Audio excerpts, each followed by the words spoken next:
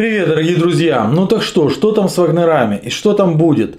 Прямо сейчас, вот на момент записи этого видео, пришла информация, она не подтверждена, эта информация, но тем не менее ее озвучит. Российские источники, в частности некоторые ненавистники Пригожина, о том, что он находится сейчас, прямо сейчас в Российской Федерации. Причем со всем своим штабом и находится на переговорах.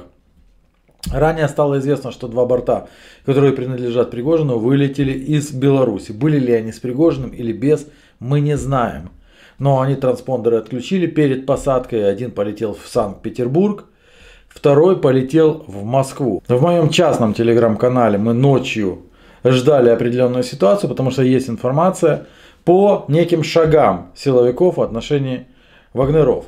Э, но за всем этим немножечко забыли сливы. Вы помните, сливы Пентагона – что украинская разведка якобы рассматривала удары по российским войскам и наемникам ЧВК «Вагнер» в Сирии, прикрываясь местными курдами. Но Зеленский якобы свернул операцию, как в свое время свернул операцию с вагнеровцами в Беларуси, что обернулось крупным скандалом. Однако, судя по информации СМИ, удар по вагнерам в Сирии все же нанесли, но не украинская разведка. Итак, 27 июня арабский телеканал Аль-Хадад – со ссылкой на свои источники сообщил, что в трех центрах Вагнера прошли обыски в Дейр-эз-Зохре, Хаме и Дамаске.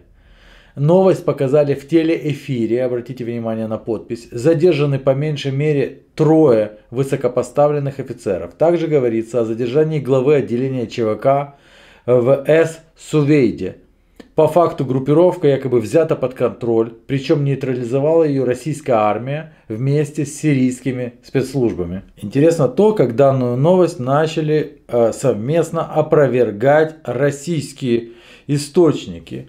Связанный с Вагнером канал и именной канал командира Уткина пишут, что информация о задержании не соответствует действительности, что правда не исключает возможности обысков – Другие каналы тоже не подтверждают, их источники с мест работали как работают.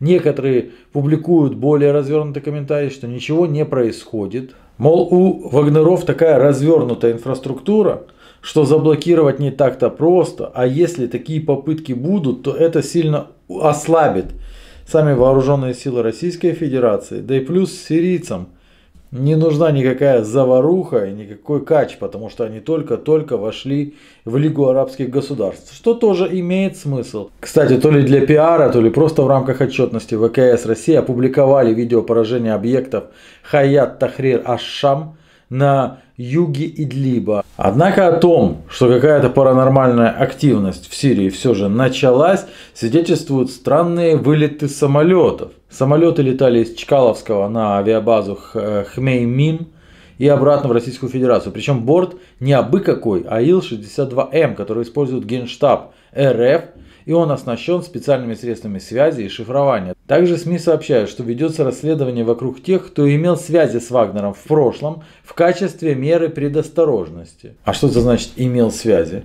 Смотрите, если даже не происходит арестов, то план Путина по интеграции ЧВК в Минобороны на самом деле сейчас притворяется в жизнь. Как там он говорил, заключить контракт, вернуться к родным и близким или пойти в Беларусь Дедлайн подписания как раз таки 1 июля. Очень э, сейчас вспоминают недавний рассказ Пригожина еще до бунта, как в феврале 2018 года Вагнер был разгромлен в Хашаме. По его утверждению, ИГИЛ тогда прикрывали морпехи США, а ЧВК Вагнеру нужна была поддержка с воздуха. Внезапно в воздухе оказалось все, что летает, и ударило по Вагнерам, ударила там стратегическая авиация, ударила по путям их отступления. Это был разгром. Оказалось, американцы предупредили Минобороны Российской Федерации, Генштаб о том, что если Вагнера пойдут вперед, их уничтожат. А Минобороны забыли, забыли передать их предупреждение – ЧВК «Вагнер» тем самым намеренно подставив их. Когда Пригожину об этом стало известно, он отправился в Москву, поймал Шойгу на торжественном приеме в Кремле. Я подошел к нему и спросил, могу ли я с вами переговорить по поводу ситуации, которая произошла 8 февраля. Он повернулся, спокойно и надменно ответил, вы погеройствовать хотели? Погеройствовали. Все герои сейчас здесь, в этом зале. Он обвел рукой окружающих в дорогих костюмах. А вы просто берега попутали. На этом разговор закончился. По некоторым данным, тогда погибло более 200 человек, причем Минобороны сделали все, чтобы у Вагнера не было даже ПЗРК. При этом для руководства стало полнейшим шоком то, что их подставила своя же власть. Поэтому, если в Сирии понятно, что вагнеровцам, которые сейчас пребывают в состоянии шока, наверное, придется слиться с Минобороны, потому что иначе их позиции просто начнут планомерно сдавать тем же самым американцам, подставлять их под удары, просто подставлять. Будут подставлять свое собственное Минобороны. И у них другого выхода нет. Американцы уже очухались, то есть они не вводили санкции, сейчас понеслась опять. Но что делать тем, кто на юге? Что делать вагнерам, которые там в Африке? И вот на эту тему сейчас эксперты спорят. Одни говорят, что в странах, чьи лидеры использовали Вагнер для укрепления власти, сейчас зреет беспокойство из-за будущего этой группы.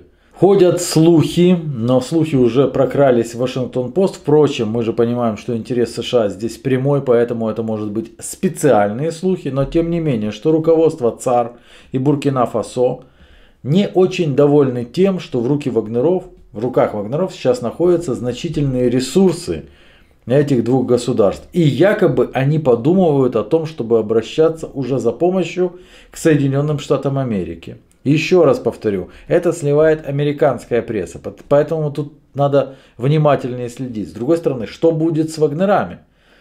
Э, публично же представители этих государств говорят о том, что да нам все равно, хоть Чайковского там пришлите, но они объясняют, что им что Вагнер, что Бетховен. Другие аналитики считают, что Вагнер там попросту незаменим, потому что при небольших инвестициях в Африку Вагнера там обеспечивают мощнейшее влияние. И они там любимы, уважаемые, что самое главное для Африки, их боятся. Несмотря на страхи западных соседей, мы крайне скептически относимся к высказыванию о том, что Вагнер может пойти куда-то на страны НАТО. Может ли он пойти на Киев? Ну, может, но разве что для того, чтобы уже полностью утилизировать остатки группировки.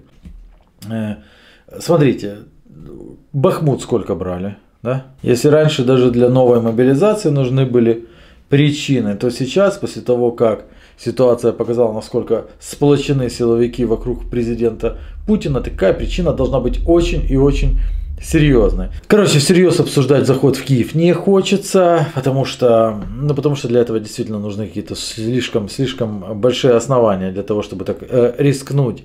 Но, скорее всего, это будет очередная ссылка на юг, но там они будут представлять интересы уже не только Российской Федерации, но вчера еще это странно звучало, а сейчас звучит вполне, но и Беларуси.